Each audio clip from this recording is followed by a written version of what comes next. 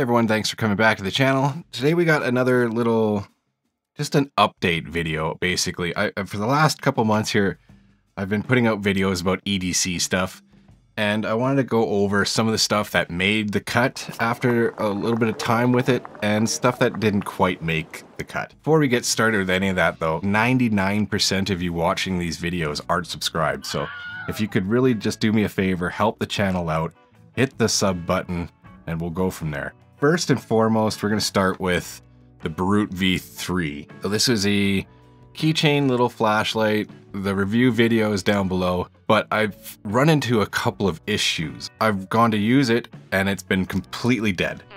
And that's happened about four different times. And I think what's happening is the button, it doesn't have a lockout and the buttons are actually depressing in my pocket and it's draining the battery because obviously if you push the button it goes into high mode or onto the high mode on the side one. still a great flashlight in the sense that it's bright and especially for the price it works really well. But if you go to use it and it's dead it's not going to do anyone any good. So these are just little strips of painter's tape and I use those to try and stop the buttons from being depressed in my pocket and so far I think it's worked but you really shouldn't have to mod your flashlight. The second thing I didn't like about this that I thought I actually would like is the magnet. I like the ability to use it magnetically when you can and, and not everything is magnetic, not everything is ferrous, right? So you can't use it in every situation anyways, but when it's on your keychain, it just ends up mashing everything and sticking all the keys and, and little knives to it and everything. It just, it's really irritating. I tried digging it out and I couldn't do anything like that. For now, I'm going to use it. It's still a, a, really capable flashlight, but I am in the market for something a little, or with at least a lockout on it. Second item I wanted to go over is the Roxon M4. So this is the keychain knife pocket multi-tool, whatever you want to call it. This is the one that has all the the scissors, the file, the little blade, and uh, the nail clipper. So the nail clippers, I will say, are still pretty good. I like the nail clippers. They are on the small side. The thing I had an issue with with this is it's pretty bulky. I still use this. It just lives in my truck now because I can't have it on my keychain. It just with this and this and all my key fobs and everything, it was like a ball in my pocket. Blades held up okay. It's a pretty soft stainless steel. Uh, it doesn't have the best edge retention. It's not the most durable steel. Those for the two items that I did separate videos on. The rest of it was that I wanted to go over was the Temu stuff. We'll start right with the wallet. Okay at first, but it did not take long for it to start breaking down. I don't even have it with me right now because I changed out at work and I went back to this Tom Talk, very old Tom Talk one I had, just for the simple fact that it was falling apart and I didn't like it. So it was very stiff, it's very plasticky feeling.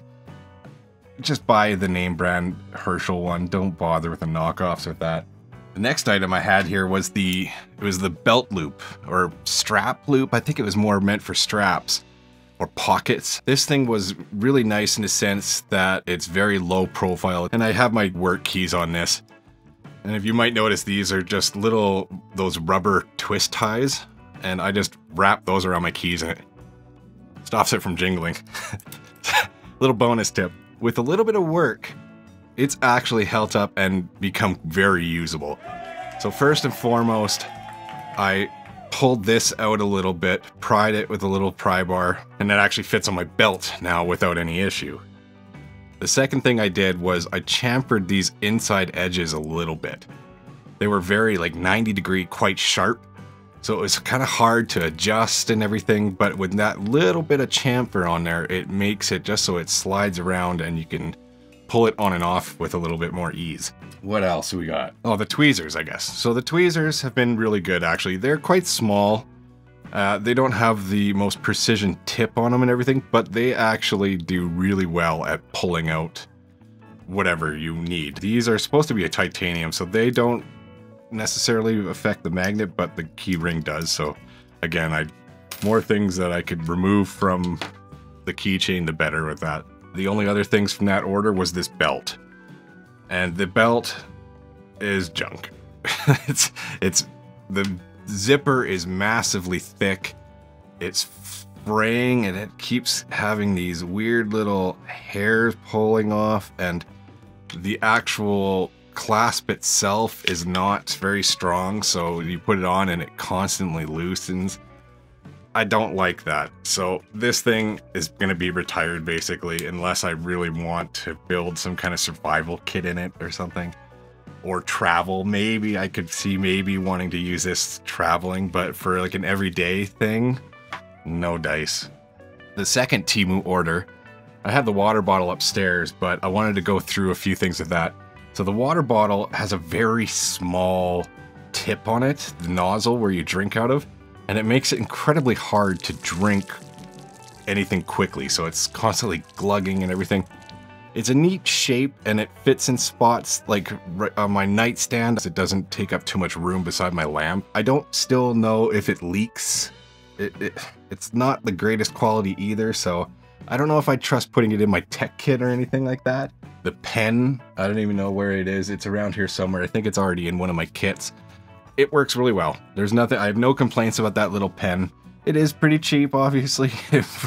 it was cheap in price and in quality.